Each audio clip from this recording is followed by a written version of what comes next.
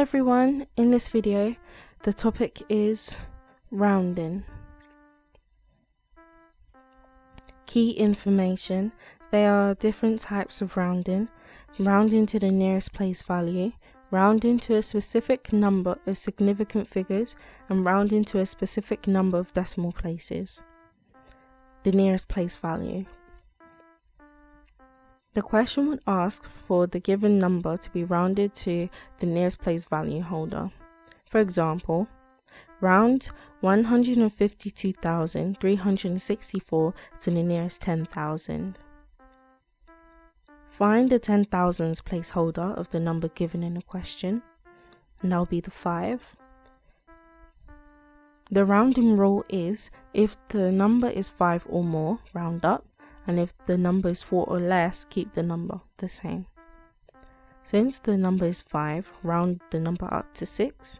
The new number, therefore, would be 160,000. And the other numbers will be replaced with 0.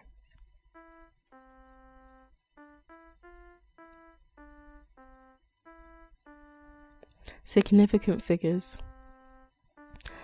The question will ask for the given number to be rounded to the amount of significant figures specified in the question.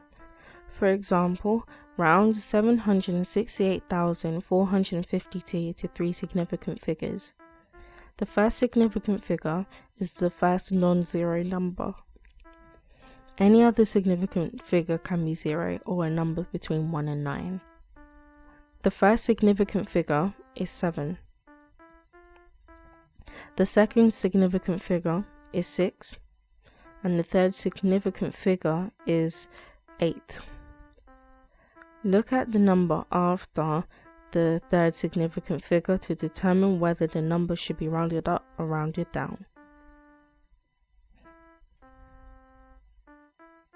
Remember, if the number is 5 or more, round up.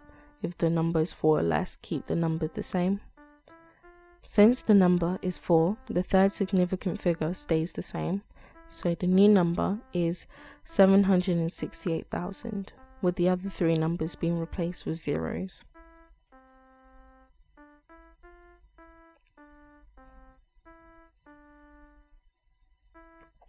Decimal places. The question will ask for the given number to be rounded to the amount of decimal places. For example, round 1.9543 to 1 decimal place. Remember, if the number is 5 or more, round up. If the number is 4 or less, keep the number the same. Since the number is a 9, it would round up. However, it would change the number before the decimal point to 2 and would become 2.0.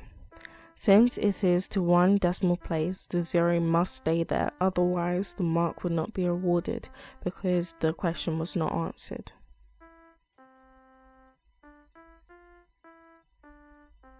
The new number is 2.0. I hope you found this video useful. Please click on the subscribe and bell buttons for more content from this channel and please feel free to share. Thank you for watching.